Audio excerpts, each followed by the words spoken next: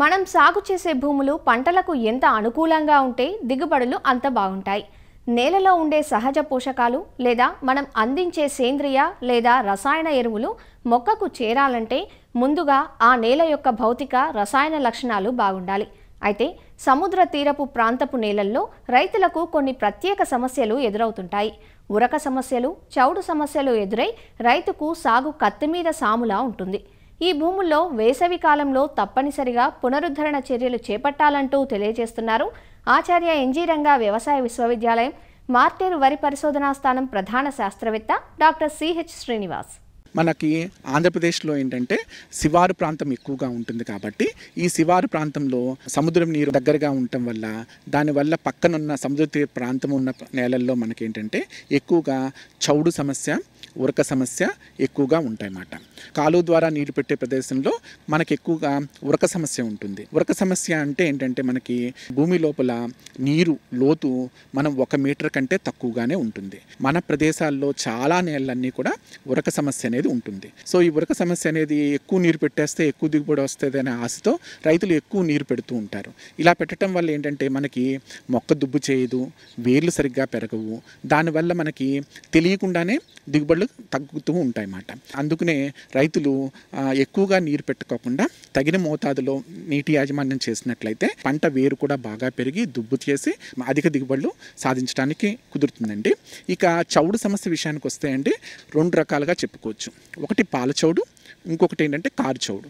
ఈ పాలచౌడు విషయానికి వస్తే దీంట్లో ఏంటంటే ప్రధానంగా మనకి నేల యొక్క లవణ గాఢత ఈసీ అంటాం కదండి. ఈసీఈ వాల్యూస్ నాలుగు కంటే ఎక్కువగా ఉంటాయన్నమాట. ఈ లవణ గాఢత ఎక్కువగా ఉన్న నేలల్లో ఏంటంటే ఈ ఎండాకాలంలో నేలపైన తెల్లగా చౌడు పేరుకుపోతుంది అనమాట సో అలాంటి నేల మనం ఈజీగానే గుర్తించవచ్చు సో అలాంటి నేలలు ఏంటంటే మనకి నీరు పెట్టడం వల్లన రావచ్చు లేకపోతే శివారు ప్రాంతం కావటం వల్లన్నా కావచ్చు లేకపోతే నేల లోపల మట్టి లోపల కూడా లవణాలు ఉండటం వల్ల అవి నేల పైకి వచ్చి అలా పొర కింద ఏర్పడటం వల్ల మనకి ఈ పాలచౌడు నేలలు ఏర్పడతాయండి.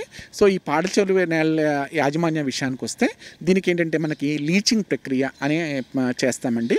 ఈ నేలల్ని మన ఎండాకాలం తర్వాత మనము పైపొరని పై పొరని పారతో చెక్కేసేసి మనము బయట పొలం నుంచి బయటకు తీసేయాలి. ఇలా చేయటం వల్ల కొద్దిగా లవణాలను మనం తీయటానికి కుదురుతుంది. అంతేకాకుండా మనకి తర్వాత వర్షాలు పడిన తర్వాత మంచి నీరు అందుబాటులో ఉన్నప్పుడు ఆ నీరుని మనము పొలంలో నిలకట్టుకుని మనం దమ్ము చేసుకుని రెండు నుంచి మూడు రోజుల తర్వాత తర్వాత మురుగుపోతుల ద్వారా బయటికి వదిలేసినట్లయితే మనకి లవణాలు తగ్గుతాయి అన్నమాట ఇది ఎంత మోతాదులో తగ్గుతాయి అని అంటే ఒక అడుగు నీరు ఒక పొలంలో పెట్టినట్లయితే దానికి ముందు ఉన్న ఈసీ సగానికి తగ్గుతుంది. అంటే మనకి నేలలో ఒక ఈసీ ఇరవై డెసిసెమెన్స్ పర్ మీటర్ ఉందనుకోండి దానికి ఒక అడుగు నీరు పెట్టినట్లయితే దాని యొక్క ఈసీ ఇరవై నుంచి పదికి తగ్గుతుంది. అలా ఇంకొకసారి లీచింగ్ ప్రక్రియ చేయటం వల్ల ఆ పది ఉన్నది ఇంకొక సగానికి ఐదు తగ్గుతుంది. ఇలా చూసుకుని ఆ ఈసీ నాలుగు కంటే తక్కువ వచ్చేటట్టుగా చూసుకుని అలా పలుమార్లు లీచింగ్ ప్రక్రియ చేయటం ద్వారా నేలలో ఉన్న లవణాలని బయటికి పొరాలు అన్నమాట అంతేకాకుండా ఏంటంటే ఈ నేలలో ఎరువుల యాజమాన్య విషయానికి వస్తే దీంట్లో క్లోరైడ్ అనేది ఎక్కువగా ఉంటుంది కాబట్టి మ్యూరేట్ ఆఫ్ పొటాష్ ఎక్కువగా వాడకూడదు. దాని బదులుగా సల్ఫేట్ ఆఫ్ పొటాష్ వాడుకోవచ్చు.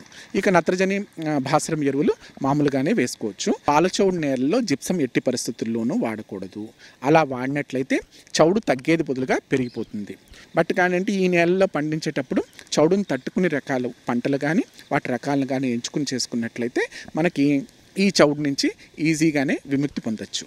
ఇలా కాకుండా ఇంకొక ఉన్న సమస్య ఏంటంటే కారు చౌడు సమస్య. ఇది ఎలా ఉంటుంది అంటే మన నేల నల్లగానే ఉంటుంది. ఈ నేలలో ఏంటంటే ఎండాకాలం ఎండుతున్నప్పుడు పై పొర ఎండిపోయినట్టు కనిపిస్తుంది. ఈ నేలలో సేంద్రీయ పదార్థం కరిగిపోవటం వల్ల పైకి సన్నని పొర మాదిరిగా భూమి పైన ఏర్పడుతుందండి. అలా ఉండటం వల్ల నేల యొక్క భౌతిక స్థితి మొత్తం దెబ్బతింటుంది. ఇలాంటి నేలలు ఎండినప్పుడు ఏమవుతాయంటే చాలా గట్టిగా మారిపోతాయి. సో ఇలాంటి సమస్య ఉన్నప్పుడు దాని యొక్క నేలను టెస్ట్ చేసుకుని దానికి కారు సమస్య ఉందా లేదా నిర్ధారించుకోవాలి.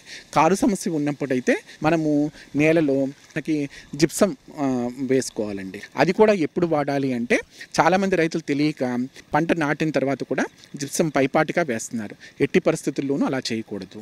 మనం జిప్సం వెయ్యాలి అంటే తప్పనిసరిగా ఎండాకాలంలో మొత్తం పొలాన్ని బాగా దున్నిన తర్వాత పరీక్షా ఫలితాల ఆధారంగా నిర్ధారించుకుని మనం దాని మోతాదులోనే జిప్సం వేసుకోవాలి. జిప్సం నీటిలో చాలా తక్కువగా కరుగుతుంది కాబట్టి ఆ నేల మొత్తంగా జిప్సాన్ని మట్టితో కలిపి పది నుంచి పదిహేను సెంటీమీటర్ల నీరు నిలకట్టి మనము రెండు రోజుల తర్వాత ఆ తేలిన నీటిని బయటకి మురుగుబోదుల ద్వారా బయటికి తీసేయాలన్నమాట.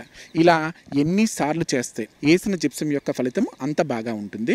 ఇక ఎరువుల విషయానికి వస్తే ఈ కారుచౌడు విషయంలో అన్ని ఎరువుల్ని వేసుకోవచ్చు. కానీ ఏంటంటే కారుచౌడు నీళ్ళలో భూమి యొక్క పీహెచ్ ఉద్యన సూచికి కూడా ఒకసారి ఎనిమిది పాయింట్ ఐదు కంటే ఎక్కువగా ఉంటుంది కాబట్టి అలాంటి దానిలో మనకి జింకు లోపం అనేది సాధారణంగా కనిపిస్తుంది. అందుకనే సూచించిన మోతాదు ఎరువు కంటే ఒక ఇరవై శాతం ఎక్కువగా వేసుకుని అది జింకు లోపం కూడా రాకుండా జింకు ఎరువులను తప్పనిసరిగా వాడుకున్నట్లయితే మంచి దిగుబడులు రావచ్చు.